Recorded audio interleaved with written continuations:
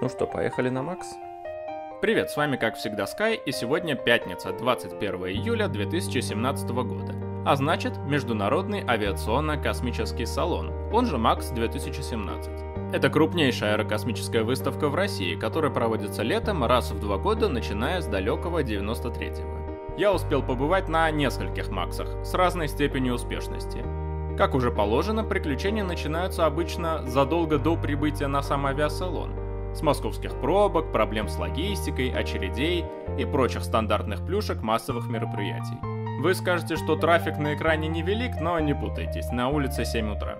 На этот раз я решил поехать туда на машине, а значит, мой пункт назначения – гигантская перехватывающая парковка, которую организовали на летном поле аэропорта Быкова. Ну, аэропорт это громко сказано. Основанный в 1936 году Быкова в свое время был важным узлом и какое-то время даже главным аэропортом столицы. Но времена меняются и летают теперь все в другие аэропорты. Быкова же не более чем аэродром, который иногда используют спецслужбы. Терминала тут уже нет, да и, насколько я знаю, Быкова даже в реестре аэропортов ныне не числится. Тут немножко ливанул дождь, но пока вроде бы пронесло. Почти приехали. Аэродром Быкова. После оставления своей машины на зеленой травке надо еще полчасика потрястись в автобусе. На территорию Макс, да и всего Жуковского в эти дни без специальных пропусков вообще не пускают. Ну что же, наша экскурсия начинается с КПП номер 3, в дальней части аэродрома Раменская.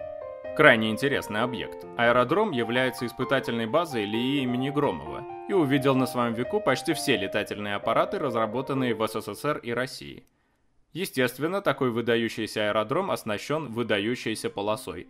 5400 метров бетона. Очень много. Например, взлетная полоса аэропорта Домодедово едва дотягивается до отметки в 3800. Кстати, здесь же, с южной стороны аэродрома, пристроился терминал нового аэропорта Жуковский. Ну что же, посмотрим, что тут у них есть. Встречают гостей, как ни странно, не самолеты, а автомобили. Если этих тюнингованных монстров, конечно, можно назвать автомобилями. Они пока что просто выстроены в ряд и ждут своего часа, который настанет ближе к концу видео. Еще на Максе в нескольких местах стоят топовые модели Audi. Вот этот, например. Сделаем вид, будто не знаем, что под чехлом. Ну вот, наконец-то мы на Максе. Здесь довольно шумно, но, надеюсь, меня будет нормально слышно. Первая экспозиция возле КПП номер 3 «Легенды авиации». Выставка «Легенды авиации» начинается, наверное, с самого легендарного самолета – а МиГ-21 у меня видео пока нет, но это действительно аппарат с историей, который некоторые люди считают чуть ли не лучшим истребителем всех времен и народов. Рядом развлекает детишек МиГ-27. Уже не столь знаменитый, но заслуженный самолет. У нас такие уже не летают, но в ВВС Индии эти машинки до сих пор служат. МиГ-АТ. Еще совсем недавно перспективный учебно-боевой самолет, проигравший тендер Минобороны нынешней главной летающей партии ВКС Як-130. Рядом стоит довольно грустный памятник инженерной мысли. МиГ-144 в свое время рассматривался как перспективный истребитель пятого поколения, но, к сожалению, умер едва родившись. Самолет подняли в 2000 году в воздух, но проект был закрыт и уступил свое место суховскому изделию Т-50. Следом идут несколько суховских самолетов, во главе, конечно, с отцом всех нынешних хищников Сухого Су-27. Все эти истребители устроились уютненько возле крыла советского мастодонта, ВМТ «Атлант». Этот самолет создали на базе советского бомбардировщика 3М. Это грузовой самолет. В огромном контейнере сверху в свое время возили секции тяжелых ракет и челноков «Буран». Дальше на статической стоянке был обнаружен самолет СР-10. Легкий самолетик с одним реактивным двигателем и крылом обратной стреловидности. Очень любопытно. Думаю, я про него потом отдельное видео сниму. Рядом стоит наш старый знакомый Як-40. Ну и, конечно, важный гость почти всех Максов – сверхзвуковой авиалайнер Ту-144. Крылатые машины уступают место винтокрылым. Довольно большая часть статической стоянки отдана вертолетам России. Здесь идет, в общем-то, знакомая команда. Во главе с громадным Ми-26 стоят боевые вертолеты Ми-35 и Ми-28, а также обновленный Ми-17. Чуть подальше гордо смотрит на толпу Ми-38, который вот-вот уже должен наконец выйти в серию. Между этими машинами на стенде завис ВРТ-300, перспективный дрон для ведения разведки. Неподалеку стоит легкий вертолет «Ансат», А напротив общей стоянки в сопровождении суровых мужиков ждет своего часа К-52. Также, разгоняя людей, по стоянке прокатили вертолеты Ми-28 и Ми-17. Иностранной техники на Максе было очень мало. На стат-стоянке стояла парочка Citation CJ и наш старый друг Piaggio Avanti. Очень жаль, в свое время тут и на земле, и в воздухе было довольно много иностранной техники.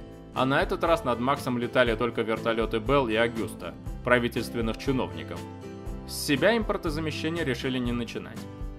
Западная часть стоянки была оккупирована самолетами Ил-76. Тут и самолет дальнего радиолокационного обнаружения, и Ил-76МД-90А, также известный как Ил-476, а также пара летающих лабораторий.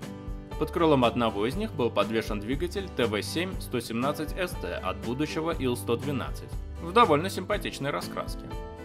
Под крылом второго зависла надежда нашего гражданского двигателя строения ПД-14, который продолжает испытываться для установки в будущем на МС-21. Напротив стоянка орудий ВКС. Это и Як-130, и Суховские боевые машины. Среди этих монстров смешно смотрится малыш Як-152, но он на самом деле не менее важен, чем его старшие родственники. Новый легкий самолет явно никому не помешает. Гражданские самолеты Сухого на авиасалоне чувствовали себя вполне вольготно. Притащили сразу три самолета. Один совсем новый борт совсем новой авиакомпании «Азимут». Еще один специальный самолет для МЧС. Ну и третий борт, который скоро будет нарезать небо над Раменским. Еще один скромный иностранец – китайский ударный дрон Winlong 1. Изрядно напоминает своего американского конкурента. Дизайн беспилотников теряет свое разнообразие.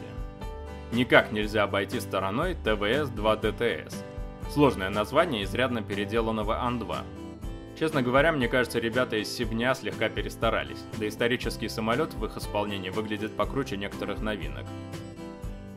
В общем, по стат-стоянке мне гулять надоело. В небе пока что ничего не летает, и я нашел себе тут уютненькое местечко на зеленом поле. Погода отличная. Мне повезло. Пока я боролся с дрожанием камеры, в небе отрабатывали фигуры высшего пилотажа легкие самолеты. Пилотажники группы «Русь», а также тяжеловесы на Су-35.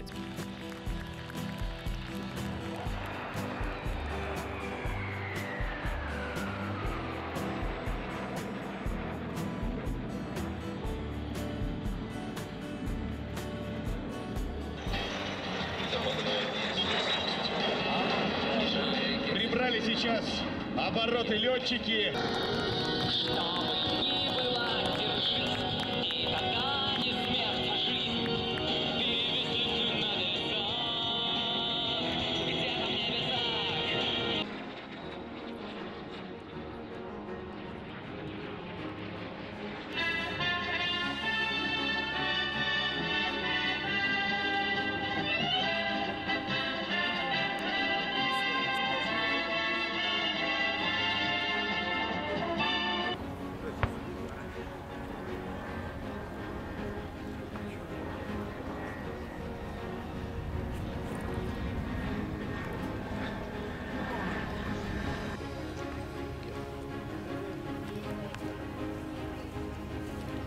Но гулянки на открытом воздухе, конечно, это не все, что есть на Максе. Посмотрим, что там спрятано в крытых павильонах.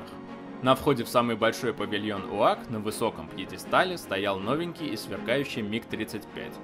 Насчет его летных качеств и рыночных перспектив пока точно сказать нельзя, но в качестве модели на подиуме он выглядит отлично. Павильон нас встречает красивыми представительницами компании отрасли и множеством масштабных моделей самолетов. Уж что-что, а масштабные модели мы делать научились на ура. Стенд гражданских самолетов Сухого был на этот раз маленьким, но интересным.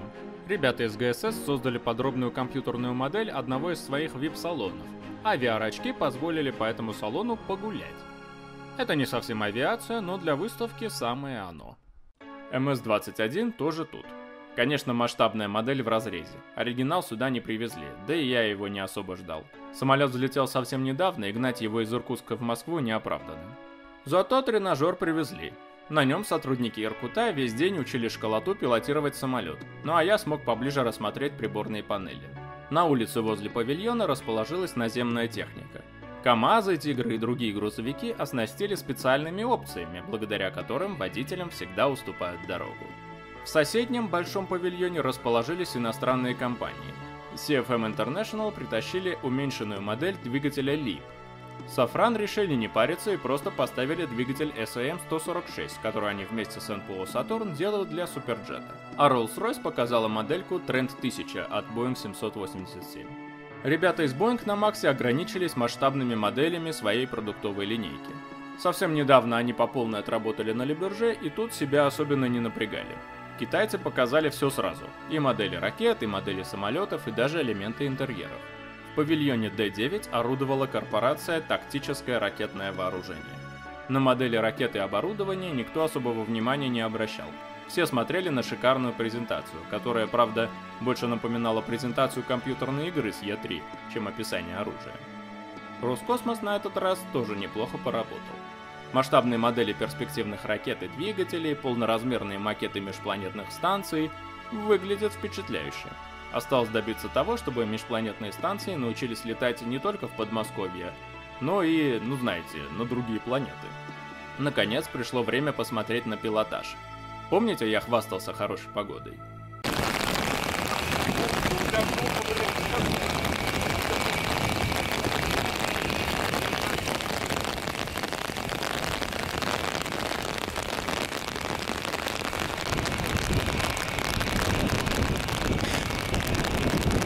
такое. После нормального такого дождика самолеты все же начали отрываться от земли. Первым был Суперджет 100. Следом пошли пилотажные группы Baltic Biz и Русь. И те, и другие на альбатросах Л-39. Старичок на пенсию не торопится. Потом небо над Жуковским захватила Светлана Капанина. Женщина, у которой такое количество воздушных регалий, что можно делать целое отдельное видео, просто чтобы их перечислить. Ну а потом началось шоу «Хозяев неба». Думаю, дальше комментировать смысла нет. Смотрим.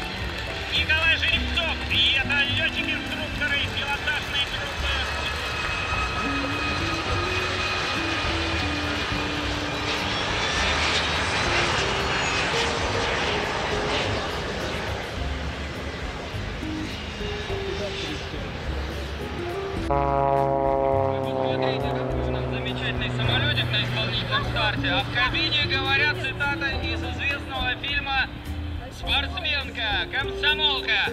Наконец, просто красивая девушка.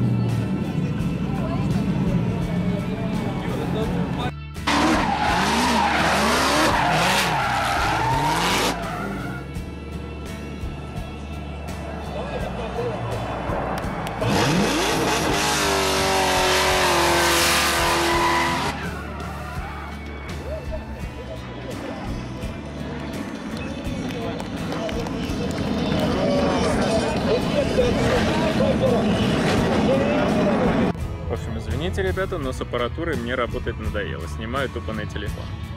Макс провожает нас довольно клевой погодой. К сожалению, в середине выставки не очень повезло.